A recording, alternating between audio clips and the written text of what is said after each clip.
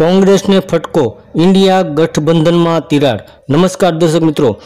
ભાજપ વિરુદ્ધ લોકસભા અને વિધાનસભાની ચૂંટણીઓમાં સંગઠિત થઈને લડત આપવાની નેમ સાથે રચાયેલા વિપક્ષના મહાગઠબંધન ઇન્ડિયામાં અંદાજ અનુસાર જ બેઠક વહેંચણીને લઈને ખટરાગ સપાટી ઉપર આવવા લાગ્યો છે. સમાજવાદી પાર્ટીના પ્રમુખ અખિલેશ યાદવે મધ્યપ્રદેશ વિધાનસભાની ચૂંટણીમાં કોંગ્રેસના વલણ સામે વાંધો ઉઠાવ્યો છે. અને કહ્યું હતું કે આ ગઠબંધન માત્ર રાષ્ટ્રીય સ્તર ઉપર જ છે, રાજ્યના સ્તર ઉપર નથી.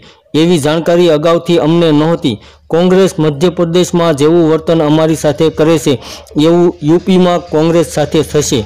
તો અખિલેશ યાદવના આ નિવેદનથી કોંગ્રેસમાં ખળભળાટ મચી ગયો હતો અને ગઠબંધનમાં તિરાડ પડે તેવા સંકેતો જોવા મળી રહ્યા હતા. તો કોંગ્રેસને હાલમાં ફટકો પડે તેવી શક્યતા છે. ધન્યવાદ દર્શક મિત્રો.